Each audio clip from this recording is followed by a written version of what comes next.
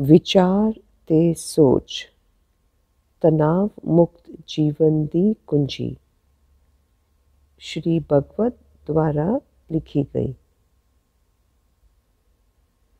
ਸਾਨੂੰ ਆਪਣੀ ਜ਼ਿੰਦਗੀ ਵਿੱਚ ਕਈ ਮੁਸ਼ਕਿਲਾਂ ਦਾ ਸਾਹਮਣਾ ਕਰਨਾ ਪੈਂਦਾ ਹੈ।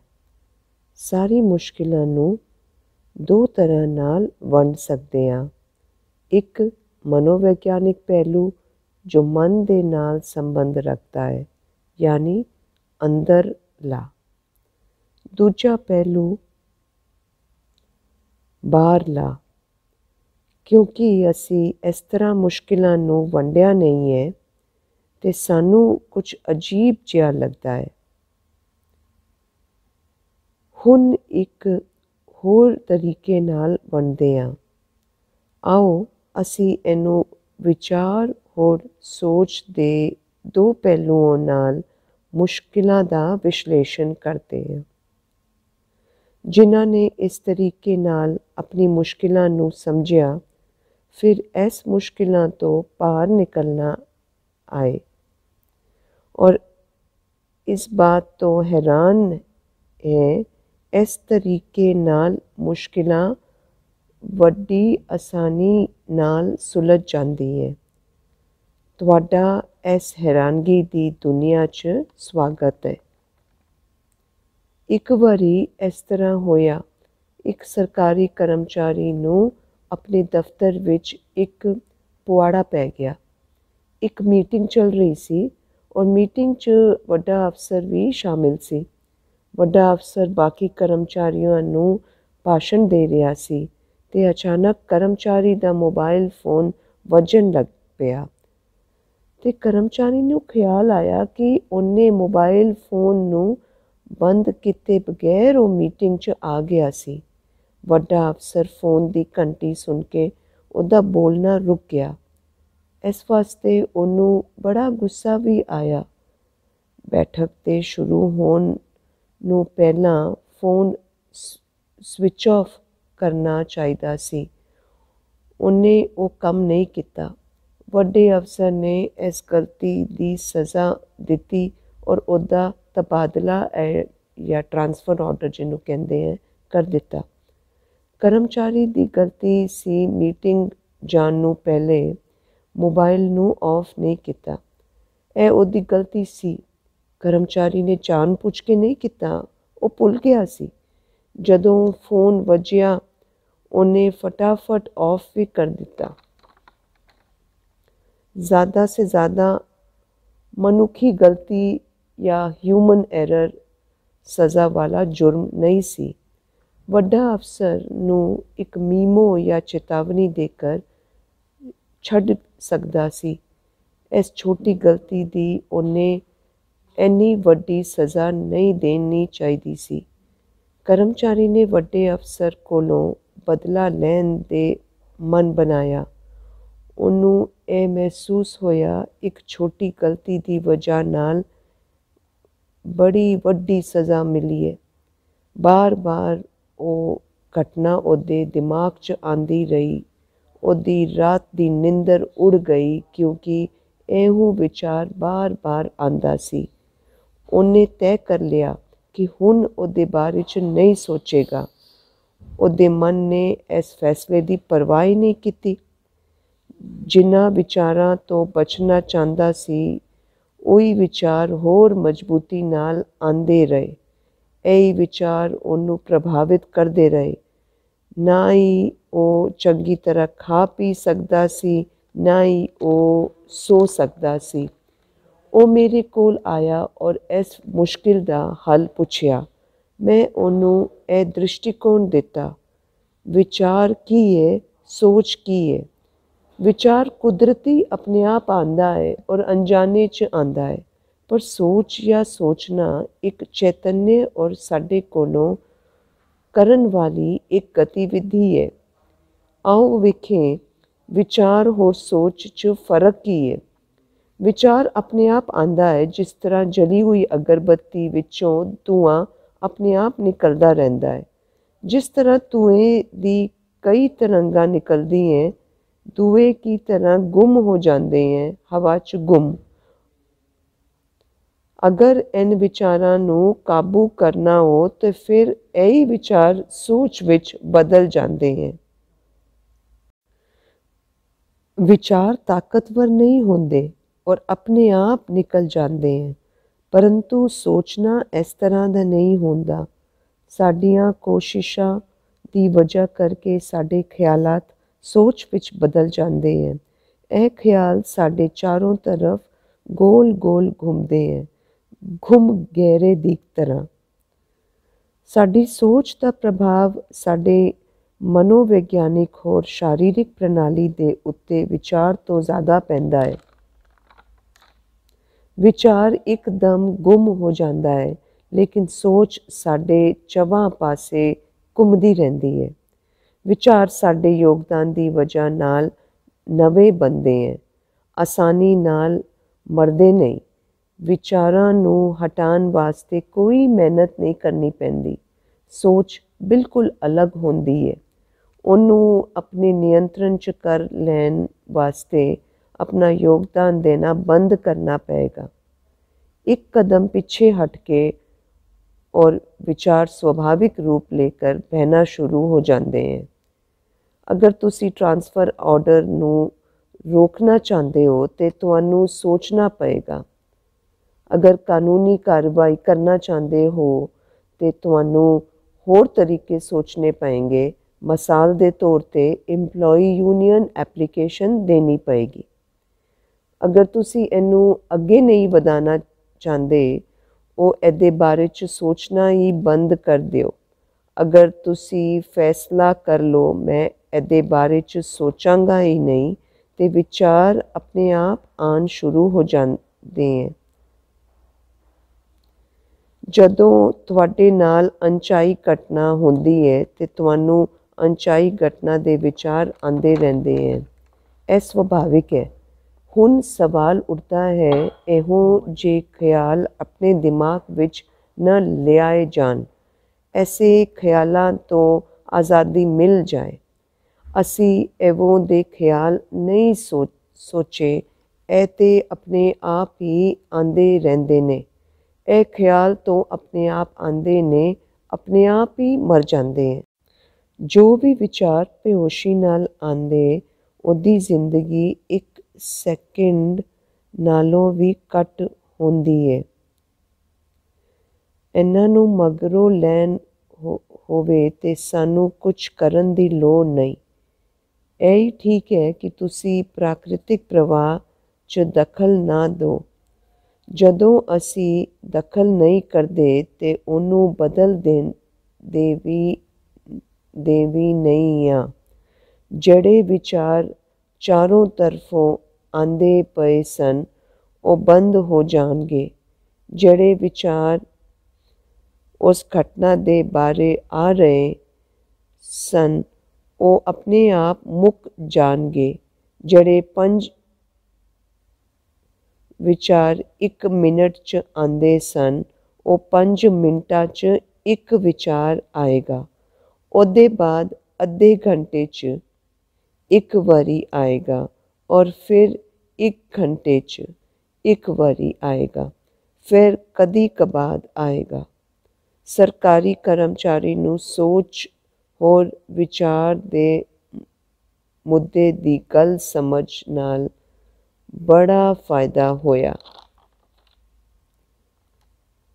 ਹੁਣ ਇੱਕ ਸ਼ਾਦੀशुदा ਜੋੜਾ ਇਸ ਤਰ੍ਹਾਂ ਦੀ ਮੁਸ਼ਕਿਲ ਲੈ ਕੇ ਮੇਰੇ ਕੋਲ ਆਇਆ। ਉਹਦੀ ਸਮੱਸਿਆ ਸਰਕਾਰੀ ਕਰਮਚਾਰੀ ਸੇ ਜ਼ਿਆਦਾ ਗੰਭੀਰ ਸੀ। ਉਹਦੇ ਨਾਲ ਇੱਕ ਬੜੀ ਦੁੱਖ ਭਰੀ ਘਟਨਾ ਘਟੀ। ਵਾਸਤਵ ਵਿੱਚ ਉਹ ਇੱਕ ਡਾਕਟਰ ਸੀ ਔਰ ਉਹਦਾ ਇੱਕੋ ਬੱਚਾ ਜਿਹੜਾ 18 ਮਹੀਨੇ ਦਾ ਸੀ, ਉਹ ਮਰ ਗਿਆ। ਉਹਨੇ ਇਹ ਵੀ ਦੱਸਿਆ ਕਿ ਉਹ ਤੇ ਇਸ ਸਦਮੇ ਨੂੰ ਬਰਦਾਸ਼ਤ ਕਰ ਸਕਿਆ, ਪਰ ਉਹਦੀ ਵੋਟੀ ਨਹੀਂ ਕਰ ਸਕੀ। ਔਰ ਇਸ ਗੱਲ ਨੂੰ ਬਾਰ-ਬਾਰ ਸੋਚਦੀ ਰਹਿੰਦੀ ਹੈ ਉਹਦੇ ਦਿਲ ਹੋਰ ਸਿਹਤ ਤੇ ਅਸਰ ਪੈਣਾ ਸ਼ੁਰੂ ਹੋ ਗਿਆ ਸੀ। ਅਸੀਂ ਲੋਕਾਂ ਸਾਈਕੈਟ੍ਰਿਸਟ ਨੂੰ ਵੀ ਮਿਲਣ ਗਏ ਸੀ, ਲੇਕਿਨ ਕੁਝ ਵੀ ਪਰਿਣਾਮ ਨਹੀਂ ਨਿਕਲਿਆ। ਹੁਣ ਅਸੀਂ ਤੁਹਾਡੇ ਕੋਲ ਨਸੀਹਤ ਲੈਣ ਆਏ ਹਾਂ। ਤਕਨੀਕੀ ਤੌਰ ਸੇ ਜੋ ਸਰਕਾਰੀ ਕਰਮਚਾਰੀ ਦੀ ਸਮੱਸਿਆ ਕੀ ਜੜ ਸੀ, ਵਹੀ ਇਸ ਜੋੜੇ ਦੀ ਵੀ ਸੀ। ਫਿਰ ਮੈਨੇ ਉਹਨੂੰ ਵਿਸਤਾਰ ਚ ਸਮਝਾਇਆ ਕਿ ਇੱਕ ਲੋਤੀ ਸੰਤਾਨ ਦਾ ਖੋਣਾ ਇਹ ਬਹੁਤ ਹੀ ਦੁੱਖ ਭਰੀ ਕਹਾਣੀ ਹੈ। ਇਸ ਬਾਰੇ ਚ ਦੁਖੀ ਵਿਚਾਰ ਆਣਾ ਸੁਭਾਵਿਕ ਹੈ। ਇਹਦੇ ਚ ਕੋਈ ਗਲਤ ਗੱਲ ਨਹੀਂ ਹੈ, ਪਰ ਤੁਹਾਡੇ ਦੁੱਖ ਦਾ ਇਕਮਾਤਰ ਕਾਰਨ ਇਹ ਨਹੀਂ ਹੋ ਸਕਦਾ। ਕੋਈ ਵੀ ਨਹੀਂ ਨਿਕਲ ਸਕਦਾ ਅਗਰ ਸਮੱਸਿਆ ਦਾ ਮੂਲ ਕਾਰਨ ਇਹੀ ਹੈ ਤੇ। ਐਦੋਂ ਵਿਚਾਰ ਬਾਰ-ਬਾਰ ਆਉਣ ਵਾਲਾ ਵਿਚਾਰ ਕਸੂਰਵਾਰ ਨਹੀਂ। ਜਦੋਂ ਅਸੀਂ ਅਚੇਤਨ ਮਨ ਤੇ ਸਵਾਰੀ ਕਰਦੇ ਹਾਂ, ਤੋਂ ਉਹ ਸਚੇਤ ਹੋ ਜਾਂਦੇ ਆ ਵਿਚਾਰ ਦਾ ਸੋਚ ਵਿੱਚ ਬਦਲਣਾ ਅਸਲੀ ਸਮੱਸਿਆ ਹੈ। ਵਿਚਾਰ ਦਾ ਆਣਾ ਅਸਲੀ ਪੁਆੜਾ ਨਹੀਂ ਹੈ। ਵਿਚਾਰ ਬੇਵਜ੍ਹਾ ਆਂਦੇ ਰਹਿੰਦੇ ਨੇ, ਹੋਰ ਚਲੇ ਜਾਂਦੇ ਨੇ। ਵਿਚਾਰ ਸਮੱਸਿਆ ਨਹੀਂ ਹੈ, ਸਿਰਫ ਸੋਚਣਾ ਹੀ ਸਮੱਸਿਆ ਹੈ। ਅਸਲੀ ਸਮੱਸਿਆ ਤੇ ਵਿਚਾਰਾਂ ਨੂੰ ਸੋਚ ਵਿੱਚ ਬਦਲਣਾ। ਜਦੋਂ ਇਹ ਵਿਚਾਰ ਦੁੱਖ ਪੈਦਾ ਕਰਦੇ ਹਨ ਅਸੀਂ ਉਨ ਵਿਚਾਰਾਂ ਨਾਲ ਮਿਲ ਜਾਂਦੇ ਹਾਂ ਔਰ ਸੋਚਦੇ ਹਾਂ ਕਿੰਨਾ ਦੁੱਖ ਭਰਾ ਵਾਕਿਆ ਹੈ। ਮਾਂ ਪਿਓ ਨੂੰ ਅਫਸੋਸ ਨਹੀਂ ਹੋਣਾ ਚਾਹੀਦਾ। ਕਿਆ ਮਾਂ ਪਿਓ ਨੂੰ ਨਹੀਂ ਚਾਹੀਦਾ ਸ਼ਰਧਾਂਜਲੀ ਦੇਣਾ? ਇਸ ਤਰ੍ਹਾਂ ਹਮ ਵਿਚਾਰਾਂ ਨੂੰ ਇਜਾਜ਼ਤ ਦੇ ਦਿੰਨੇ ਆ ਸਾਡੇ ਉੱਤੇ ਸਵਾਰੀ ਕਰਨ ਦੀ। ਇਸ ਨਾਲ ਸਹਿਮਤੀ ਹੋ ਜਾਂਦੀ ਹੈ। ਨਰਵਸ ਸਿਸਟਮ ਵਿੱਚ ਜੜ ਲੈਣ ਦੀ। ਇਹਦੀ ਵਜ੍ਹਾ ਨਾਲ ਸਾਡੇ ਸਰੀਰ ਵਿੱਚ ਕਈ ਕਿਸਮ ਦੀ ਬਿਮਾਰੀਆਂ ਦੇ ਲੱਛਣ ਮਹਿਸੂਸ ਹੋਣੇ ਸ਼ੁਰੂ ਹੋ ਜਾਂਦੇ ਨੇ। ਸੋਚਣ ਲੱਗ ਪੈਣਾ ਸਾਨੂੰ ਹਾਰਟ ਪ੍ਰੋਬਲਮ ਹੈ ਸਾਨੂੰ ਸਾਈਕੋਲੋਜੀਕਲ ਜਾਂ ਮਨੋਵਿਗਿਆਨਿਕ ਸਮੱਸਿਆ ਹੈ ਇਸ ਤਰ੍ਹਾਂ ਅਸੀਂ ਆਪਣੇ ਵਿਚਾਰਾਂ ਨੂੰ ਜੋ ਆਪੀ ਨਿਕਲਦੇ ਰਹਿੰਦੇ ਹੈ ਉਹਨਾਂ ਨੂੰ ਆਪਣੇ ਉੱਤੇ ਸਵਾਰੀ ਦੇ ਦੇਣਾ ਸੋਚ ਵਿੱਚ ਬਦਲ ਕੇ ਇਥੋਂ ਕੀ ਹੋਇਆ ਹੈ ਅਸੀਂ ਉਹਨ ਵਿਚਾਰਾਂ ਨੂੰ ਜਿਹੜੀ ਪ੍ਰਕਿਰਤੀ ਹੈ ਬਹਿਣ ਦੀ, ਉਹਨੂੰ ਅਸੀਂ ਗੋਲ ਗੋਲ ਘੁੰਮਣ ਵਾਲਾ ਪਾਣੀ ਬਣਾ ਦਿੱਤਾ ਹੈ। ਅਸੀਂ ਉਹਨ ਵਿਚਾਰਾਂ ਨੂੰ ਸ਼ਕਤੀ ਦੇ ਦਿੱਤੀ ਹੈ। ਅਗਰ ਅਸੀਂ ਉਹਨ ਵਿਚਾਰਾਂ ਨੂੰ ਸੋਚ ਵਿੱਚ ਨਾ ਬਦਲੀਏ, ਤੇ ਇਹ ਵਿਚਾਰ ਖੁਦ ਬਖੁਦ ਆ ਕੇ ਆਪਣੇ ਆਪ ਮਰ ਜਾਣਗੇ ਇਹ ਵਿਚਾਰ ਜੋ ਪਾਣੀ ਦੀ ਲਹਿਰਾਂ ਦੀ ਤਰ੍ਹਾਂ ਆਂਦੇ ਏ ਖਤਮ ਹੋ ਜਾਣਗੇ। ਅਸੀਂ ਵਿਚਾਰਾਂ ਨੂੰ ਸੋਚ ਵਿੱਚ ਬਦਲ ਦਿੰਨੇ ਆ ਔਰ ਉਹਨੂੰ ਤਾਕਤ ਦੇ ਦਿੰਨੇ ਆ ਇਹ ਕਾਫੀ ਹੈ ਕਿ ਅਸੀਂ ਚੇਤਨ ਯੋਗਦਾਨ ਦੇਣਾ ਬੰਦ ਕਰਦੇ ਤੇ ਇਹ ਤਰੰਗਾ ਆਪੀ ਰੁਕ ਜਾਣਗੀਆਂ। ਮੁਸ਼ਕਿਲ ਤਾਂ ਇਹ ਹੈ ਵਿਚਾਰਾਂ ਨੂੰ ਸੋਚ ਵਿੱਚ ਬਦਲਣਾ। ਇਹ ਸੋਚ ਇੱਕ ਬੜਾ ਵੱਡਾ ਰੂਪ ਲੈ ਲੈਂਦੀ ਹੈ। ਔਰ ਮਾਨਸ ਨੂੰ ਬੜਾ ਕਮਜ਼ੋਰ ਕਰ ਦਿੰਦੀ ਹੈ ਉਸੇ ਤਰ੍ਹਾਂ ਅਗਰ ਇਨ ਵਿਚਾਰਾਂ ਨੂੰ ਸੋਚਣਾ ਸ਼ੁਰੂ ਕਰ ਦੇ, ਤੇ ਇਹ ਸੋਚ ਇੱਕ ਵੱਡਾ ਰੂਪ ਲੈ ਲੈਂਦੀ ਹੈ ਔਰ ਆਦਮੀ ਨੂੰ ਖੂਬ ਕਮਜ਼ੋਰ ਕਰ ਦਿੰਦੀ ਹੈ ਕਈ ਵਾਰ ਲੋਕਾਂ ਆਪਣੇ ਅਜ਼ੀਜ਼ਾਂ ਦੀ ਦੇਖਭਾਲ ਦੇ ਕਰਨ ਦਾ ਮੌਕਾ ਗਵਾ ਦਿੰਦੇ ਹੈ ਹੋ ਸਕਦਾ ਹੈ ਉਹਨਾਂ ਨੇ ਇਹ ਸਪਸ਼ਟ ਫੈਸਲਾ ਨਹੀਂ ਲੈ ਪਾਏ ਕਿ ਕਿਸ ਡਾਕਟਰ ਨਾਲ ਸਲਾਹ مشورہ ਕਰਨਾ ਹੈ ਇਸ ਕਾਰਨ ਉਹਨਾਂ ਦੇ ਅਜ਼ੀਜ਼ਾਂ ਦੀ ਮੌਤ ਹੋ ਸਕਦੀ ਹੈ ਇਸ ਨਾਲ ਉਹ ਆਪਣੇ ਨੂੰ ਦੋਸ਼ੀ ਮਹਿਸੂਸ ਕਰਦਾ ਹੈ ਸਹੀ ਡਾਕਟਰ ਨਾਲ ਸਲਾਹ ਕੀਤੀ ਹੁੰਦੀ ਉਹ ਉਸ ਨੂੰ ਬਚਾ ਸਕਦਾ ਸੀ ਸਾਨੂੰ ਜੋ ਵੀ ਪਹਿਲੇ ਹੋਇਆ ਹੈ ਉਸ ਲਈ ਸਾਨੂੰ ਦੋਸ਼ੀ ਨਹੀਂ ਮਹਿਸੂਸ ਕਰਨਾ ਚਾਹੀਦਾ। ਇਸ ਤਰ੍ਹਾਂ ਦੇ ਵਿਚਾਰ ਆਣਾ ਸੁਭਾਵਿਕ ਹੈ, ਹੋਰ ਗਲਤ ਵੀ ਨਹੀਂ।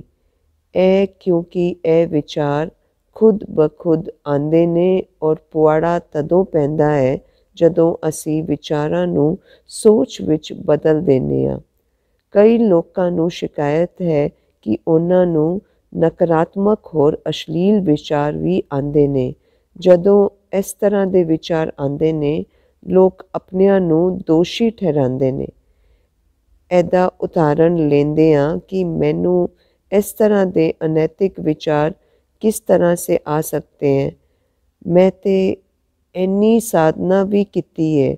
ਦਿਮਾਗ 'ਚ ਇਸ ਤਰ੍ਹਾਂ ਦੇ ਵਿਚਾਰ ਆਂਦੇ ਹੀ ਅਸੀਂ ਆਪਣੇ ਆਪ ਨੂੰ ਅਪਰਾਧੀ ਮੰਨਣਾ ਸ਼ੁਰੂ ਕਰ ਦਿੰਨੇ ਆ ਘਟਿਆ ਵੀ ਮਹਿਸੂਸ ਕਰਦੇ ਆ ਆਪਣੇ ਆਪ ਨੂੰ ਦੋਸ਼ੀ ਠਹਿਰਾਣਾ ਵੀ ਠੀਕ ਲੱਗਦਾ ਹੈ। ਅਸਲੀਅਤ ਵਿੱਚ ਇਸ ਤਰ੍ਹਾਂ ਦੇ ਵਿਚਾਰ ਅਨਕੌਂਸ਼ੀਅਸ ਵਿਚਾਰ ਆਦਿ ਹੁੰਦੇ ਨੇ। ਖੁਦ ਬਖੁਦ ਆਉਂਦੇ ਨੇ, ਹਾਲਾਂਕਿ ਇਹ ਇੱਕ ਅਣਚਾਹਾ ਵਿਚਾਰ ਹੈ ਜਾਂ ਵਿਚਾਰੋਂ ਦੀ ਮੌਜੂਦਗੀ ਨੂੰ ਅਸੀਂ ਗਲਤ ਸਮਝਨੇ ਆ ਦੋਸ਼ੀ ਵੀ ਮੰਨਦੇ ਆ ਇਸ ਤਰ੍ਹਾਂ ਵੀ ਸੋਚ ਸੁਭਾਵਿਕ ਵਿਚਾਰਾਂ ਦੇ ਵਿਪਰੀਤ ਹੈ। ਅਸਲ 'ਚ ਇਸ ਤਰ੍ਹਾਂ ਦੇ ਵਿਚਾਰ ਆਪਣੇ ਆਪ ਆਉਂਦੇ ਨੇ ਤੇ ਉੱਠਦੇ ਹੈ ਹੋਰ ਡਿੱਗ ਪੈਂਦੇ ਨੇ। ਜਦੋਂ ਅਸੀਂ ਆਪਣੇ ਨੂੰ ਕਸੂਰਵਾਰ ਮੰਨਦੇ ਆ ਅਸੀਂ ਯਾਨਾ ਵਿਚਾਰਾਂ ਨੂੰ ਸੋਚ ਵਿੱਚ ਬਦਲ ਦਿੰਨੇ ਆ ਸਾਨੂੰ ਸੋਚਣ ਤੋਂ ਬਚਣ ਲਈ ਸੰਘਰਸ਼ ਕਰਨ ਦੀ ਲੋੜ ਨਹੀਂ ਹੈ। ਇਹਦਾ ਇਹ ਮਤਲਬ ਨਹੀਂ ਕਿ ਇਸ ਤਰ੍ਹਾਂ ਦੇ ਵਿਚਾਰਾਂ ਨੂੰ ਪ੍ਰੋਤਸਾਹਨ ਜਾਂ ਇਨਕਰੇਜ ਕਰੋ। ਕਈ ਲੋਕਾਂ ਨੂੰ ਬੁਰੀਆਂ ਆਦਤਾਂ ਪੈ ਜਾਂਦੀਆਂ ਔਰ ਉਹਨਾਂ ਤੋਂ ਬਾਹਰ ਨਿਕਲਣਾ ਚਾਹੁੰਦੇ ਨੇ। ਉਦਾਹਰਣ ਸ਼ਰਾਬ ਪੀਣ ਦੀ ਆਦਤ। ਉਹ ਜ਼ਬਰਦਸਤੀ ਕੁਝ ਦਿਨਾਂ ਲਈ ਪੀਣ ਤੋਂ ਪਰਹੇਜ਼ ਕਰਦੇ ਹੈ ਲੇਕਿਨ ਉਹਨਾਂ ਨੂੰ ਇਸ ਤਰ੍ਹਾਂ ਦੇ ਵਿਚਾਰ ਆਨੇ ਸ਼ੁਰੂ ਹੋ ਜਾਂਦੇ ਨੇ ਔਰ ਉਹਨ ਵਿਚਾਰਾਂ ਤੇ ਸਵਾਰੀ ਕਰਨਾ ਸ਼ੁਰੂ ਕਰ ਦਿੰਦੇ ਹੈ ਔਰ ਵਿਚਾਰ ਸੋਚ ਵਿੱਚ ਬਦਲ ਜਾਂਦੇ ਨੇ। ਵਿਚਾਰ ਸ਼ਕਤੀਸ਼ਾਲੀ ਬਣ ਜਾਂਦੇ ਨੇ ਕਿ ਅਗਰ ਅਸੀਂ ਸ਼ਰਾਬ ਪੀ ਲੈਂਦੇ ਆ ਤੇ ਇਹੀ ਸੋਚ ਉਹਨਾਂ ਦੇ ਦਿਮਾਗੀ ਪ੍ਰਣਾਲੀ ਨੂੰ ਉਤੇਜਿਤ ਕਰਦੀ ਹੈ ਇਹੀ ਦੁਬਾਰਾ ਉਹਨਾਂ ਦੀ ਪੈੜੀ ਆਦਤ ਨੂੰ ਮਜਬੂਰ ਕਰਦੀ ਹੈ ਜਿਹੜਾ ਤੱਕ ਅਸੀਂ ਇਹਨਾਂ ਵਿਚਾਰਾਂ ਨੂੰ ਸੋਚ ਵਿੱਚ ਨਹੀਂ ਬਦਲਦੇ ਆ ਪੈੜੀਆਂ ਆਦਤਾਂ ਵੀ ਕਮਜ਼ੋਰ ਹੋ ਜਾਣਗੀਆਂ। ਉਹ ਮਨ ਲੋ ਅਸੀਂ ਸਵਾਰ ਹੋ ਜਾਂਦੇ ਆ ਇਨ ਵਿਚਾਰਾਂ ਤੇ ਹੋਰ ਇਹ ਵਿਚਾਰ ਸੋਚ ਬਣ ਜਾਂਦੇ ਨੇ। ਫਿਰ ਕੀ ਹੋਏਗਾ? ਅਸੀਂ ਇਸ ਸੋਚ ਤੋਂ ਕਿਵੇਂ ਬਾਹਰ ਆਵਾਂਗੇ? ਭਾਵੇਂ ਇਹ ਵਿਚਾਰ ਹੋ ਜਾਂ ਸੋਚ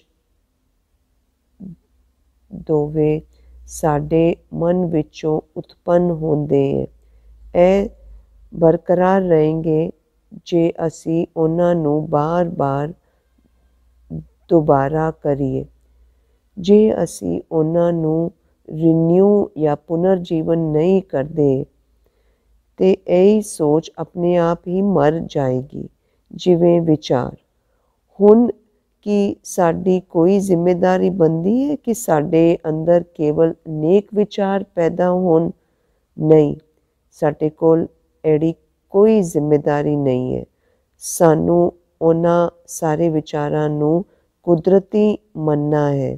ਕੁਦਰਤੀ ਹੋਣ ਦੇ ਬਾਵਜੂਦ ਭਾਵੇਂ ਇਸ ਵਿੱਚ ਅਣਚਾਹੀ ਅਨੈਤਿਕ ਵਿਚਾਰ ਹੋ ਸਕਦੇ ਨੇ। ਚੰਗਾ ਹੋਰ ਪੈੜਾ ਦਾ ਵਰਗੀਕਰਨ ਐਕਸ਼ਨ ਜਾਂ ਕਰਮ ਤੇ ਨਿਰਭਰ ਕਰਦਾ ਹੈ। ਸਾਡੇ ਕਰਮ ਸਾਡੇ ਸਮਾਜ ਲਈ ਮਦਦਗਾਰ ਹੋਣ ਚਾਹੀਦੇ ਨੇ। ਅਸੀਂ ਉਹਨਾਂ ਨੂੰ ਐਕਸ਼ਨ ਦੇ ਦੇ ਆਧਾਰ ਤੇ ਉੱਤਮ ਔਰ ਘਟੀਆ ਦਾ ਵਰਗੀਕਰਨ ਕਰ ਸਕਦੇ ਹਾਂ। ਸਾਡੇ ਐਕਸ਼ਨ ਸਹੀ ਔਰ ਸਮਾਜ ਦੇ ਵਾਸਤੇ ਮਦਦਗਾਰ ਹੋਣ ਚਾਹੀਦੇ ਹਨ ਇਹ ਚੰਗਾ ਕੰਮ ਕਰਨ ਵਾਲੇ ਵਿਚਾਰਾਂ ਨੂੰ ਚੰਗਿਆ ਮੰਨਿਆ ਜਾ ਸਕਦਾ ਹੈ। ਕੁਝ ਲੋਕ ਸ਼ਿਕਾਇਤ ਕਰਦੇ ਹੈ, ਉਹਨਾਂ ਨੂੰ ਰਾਤੀ ਨਿੰਦਰ ਨਹੀਂ ਆਉਂਦੀ। ਮੁਸ਼ਕਿਲ ਉਦਾਂ ਦੇ ਵਿਚਾਰ ਨਹੀਂ ਹੈ। ਸੋਚ ਹੀ ਨਿੰਦਰ ਦੀ ਦੁਸ਼ਮਣ ਹੈ। ਸੋਚ ਹੀ ਨਿੰਦਰ ਨੂੰ ਦੇਰੀ ਕਰਦੀ ਹੈ। ਜਦੋਂ ਅਸੀਂ ਬਿਸਤਰੇ ਵਿੱਚ ਲੇਟੇ ਹੁੰਦੇ ਹਾਂ ਤਦ ਸਾਨੂੰ ਆਪਣੇ ਨਾਲ ਹੋਣ ਵਾਲੇ ਅਣਚਾਹੇ ਵਿਚਾਰਾਂ ਬਾਰੇ ਚ ਕਰਨ ਦੀ ਲੋੜ ਨਹੀਂ। ਸਾਡੇ ਵਿੱਚ ਪੈਦਾ ਹੋਣ ਵਾਲੇ ਅਜੇ ਵਿਚਾਰ ਅਣਚਾਹੇ ਵਿਚਾਰ ਵੀ ਆਪਣੇ ਆਪ ਸੰਤੁਲਿਤ ਹੋ ਜਾਂਦੇ ਨੇ। ਕੇਵਲ ਸੋਚ ਹੀ ਦਿੱਕਤ ਦਿੰਦੀ ਹੈ ਸੋਚ ਵਿਚਾਰਾਂ ਨੂੰ ਗੋਲ-ਗੋਲ ਘੁਮਾਉਂਦੀ ਹੈ ਔਰ ਤਾਕਤਵਰ ਬਣਾਉਂਦੀ ਹੈ ਬਿਸਤਰ ਤੇ ਲੇਟ ਕਰ ਸੋਚਣਾ ਨਹੀਂ ਚਾਹੀਦਾ। ਅਤੀਤ 'ਚ ਜੋ ਹੋਇਆ, ਉਹ ਫਿਰ ਉੱਠ ਸਕਦਾ ਹੈ ਵਿਚਾਰਾਂ ਦੇ ਰੂਪ ਵਿੱਚ। ਇਹਦੇ ਵਿੱਚ ਕੋਈ ਗਲਤੀ ਨਹੀਂ। ਸੋਚ ਹੀ ਪਿਛਲੀ ਘਟਨਾ ਨੂੰ ਜੀਵਨ ਪ੍ਰਦਾਨ ਕਰਦੀ ਹੈ ਸਾਡੇ ਅੰਦਰ ਵਿਵਾਦ ਪੈਦਾ ਕਰਦੀ ਹੈ ਪੁਰਾਣੀ ਘਟਨਾਵਾਂ ਤੇ ਵਿਚਾਰ ਸਾਡਾ ਫਾਇਦਾ ਕਰ ਸਕਦੇ ਹਨ ਇਹ ਸਾਨੂੰ ਤਜਰਬਾ ਦੇ ਸਕਦੇ ਹਨ ਜੋ ਸਾਡੀ ਸਹਾਇਤਾ ਕਰਾਂਗੇ, ਕਰੇਗਾ। ਸ਼ਤੀ ਸੋਨੂ, ਰਾਤੀ ਸੋਨੂ, ਰਾਤੀ ਸੌਣ ਨੂੰ ਪਹਿਲਾਂ ਸਾਨੂੰ ਦਫ਼ਤਰ ਨੂੰ ਨਹੀਂ ਚਲਾਣਾ ਚਾਹੀਦਾ ਹੈ। ਸਾਰੀ ਭਾਰੀ ਗਤੀਵਿਧੀਆਂ ਨੂੰ ਰੋਕਣ ਚਾਹੀਦਾ ਹੈ। ਫਿਰ ਨਿੰਦਰ ਸੁਭਾਵਿਕ ਹੋਏਗੀ। ਕਈ ਲੋਕਾਂ ਨੂੰ ਰਾਤ ਨੂੰ ਅਣਚਾਹੇ ਨਕਾਰਾਤਮਕ ਵਿਚਾਰ ਆਉਂਦੇ ਨੇ। ਮੇਰਾ ਕਾਰੋਬਾਰ ਅਸਫਲ ਹੋ ਜਾਏਗਾ ਅਚਾਨਕ ਘਾਟਾ ਪੈ ਜਾਏਗਾ ਕਿ ਮੇਰਾ ਪਰਿਵਾਰ ਦੇ ਮੈਂਬਰ ਅਚਾਨਕ ਬਿਮਾਰ ਪੈ ਜਾਣਗੇ ਕਿ ਸਾਨੂੰ ਇਹਨਾਂ ਨੂੰ ਸਕਾਰਾਤਮਕ ਵਿਚਾਰਾਂ ਨਾਲ ਬਦਲਣਾ ਪਏਗਾ ਜਿਵੇਂ ਕਿ ਸਾਨੂੰ ਸਾਡੇ ਕਾਰੋਬਾਰ ਵਿੱਚ ਕੋਈ ਨੁਕਸਾਨ ਨਹੀਂ ਹੋਏਗਾ ਇਹ ਹਮੇਸ਼ਾ ਲਾਭਕਾਰੀ ਰਹੇਗਾ ਨਹੀਂ ਇਸ ਤਰ੍ਹਾਂ ਦੀ ਕੋਈ ਲੋੜ ਨਹੀਂ ਇਹ ਵਿਚਾਰ ਸੁਭਾਵਿਕ ਹੈ ਜੇ ਅਸੀਂ ਇਹਨਾਂ ਵਿਚਾਰਾਂ ਕਿਸੇ ਵੀ ਵਿਚਾਰ ਨੂੰ ਆਪਣੇ ਕਮਾਲ ਲਈ ਲਾਭਦਾਇਕ ਪਾਉਂਦੇ ਹਾਂ, ਤੇ ਅਸੀਂ ਉਹਨਾਂ ਨੂੰ ਵਰਤ ਸਕਦੇ ਹਾਂ।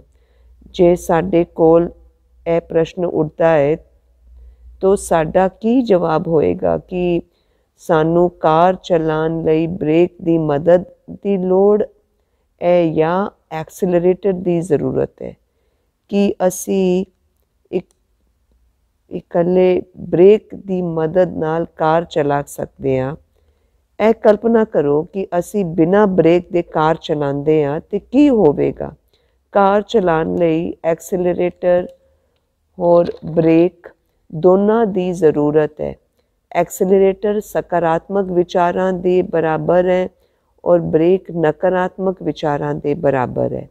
ਆਓ ਇੱਕ ਕਾਰੋਬਾਰੀ ਆਦਮੀ ਬਾਰੇ ਵਿਚਾਰ ਕਰੀਏ ਜੋ ਆਪਣਾ ਕਾਰੋਬਾਰ ਚਲਾ ਰਿਹਾ ਹੈ ਜੋ ਉਹ ਹਮੇਸ਼ਾ ਹੀ ਸਕਾਰਾਤਮਕ ਸੋਚ ਹੈ ਕਿ ਉਸ ਦਾ ਕਾਰੋਬਾਰ ਸਿਰਫ ਮੁਨਾਫਾ ਹੀ ਲਾਏਗਾ ਨਾ ਕਿ ਨੁਕਸਾਨ ਹੀ ਹੋਵੇਗਾ ਜੇ ਉਹ ਉਸ ਨੂੰ ਵਧਾਉਂਦਾ ਰਹੇ ਇਸ ਸਕਾਰਾਤਮਕ ਦੇ ਆਧਾਰ ਤੇ ਕਰੋੜੋਂ ਵਿੱਚ ਨਿਵੇਸ਼ ਲਾਭ ਹੀ ਪਹੁੰਚਾ।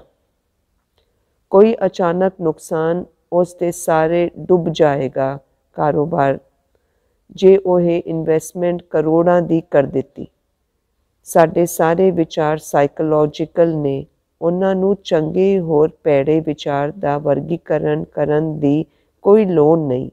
ਪਰੰਤੂ ਇਸ ਤਰ੍ਹਾਂ ਦੇ ਵਿਚਾਰ ਕਿ ਮੈਂ ਨਕਾਰਾਤਮਕ ਵਿਚਾਰ ਕਿਸ ਤਰ੍ਹਾਂ ਹਟਾਉਂ ਇਹ ਨਕਾਰਾਤਮਕ ਵਿਚਾਰ ਹੈ। ਕਿਉਂ? ਸਾਨੂੰ ਆਪਣਾ ਬਾਹਰ ਦਾ ਕੰਮ ਕਰਨ ਵਾਸਤੇ ਰੋਕਦਾ ਹੈ, ਕਰਨ ਨਹੀਂ ਦਿੰਦਾ। ਸਾਨੂੰ ਉਹਨਾਂ ਵਿਚਾਰਾਂ ਨੂੰ ਸੁਧਾਰ ਕਰਨੀ, ਕਰਨ ਲਈ ਆਪਣੇ ਅੰਦਰ ਵਾਪਸ ਧਿਆਨ ਕੇਂਦਰਿਤ ਕਰਨ ਲਈ ਮਜਬੂਰ ਕਰਦਾ ਹੈ। ਸਾਨੂੰ ਵਿਚਾਰ ਦੀ ਪੜਤਾਲ ਕਰਨ ਦੇ ਬਾਅਦ ਭਾਰੀ ਕਾਰਵਾਈ ਦੀ ਲੋੜ ਹੈ ਜਾਂ ਨਹੀਂ? ਸਾਨੂੰ ਕੋਈ ਵੀ ਕਰਮ ਕਰਨ ਦੀ ਲੋੜ ਨਹੀਂ ਹੈ। ਕੋਈ ਵੀ ਜ਼ਿੰਮੇਵਾਰੀ ਲੈਣ ਦੀ ਲੋੜ ਨਹੀਂ ਹੈ। ਇਨ ਵਿਚਾਰਾਂ ਨੂੰ ਸ਼ੁੱਧ ਕਰਨ ਦੀ ਲੋੜ ਨਹੀਂ ਹੈ, ਜਿਹੜੇ ਸਾਡੇ ਸਾਈਕੋਲੋਜੀਕਲ ਸਿਸਟਮ ਸੇ ਉਤਪੰਨ ਹੁੰਦੇ ਹੈ।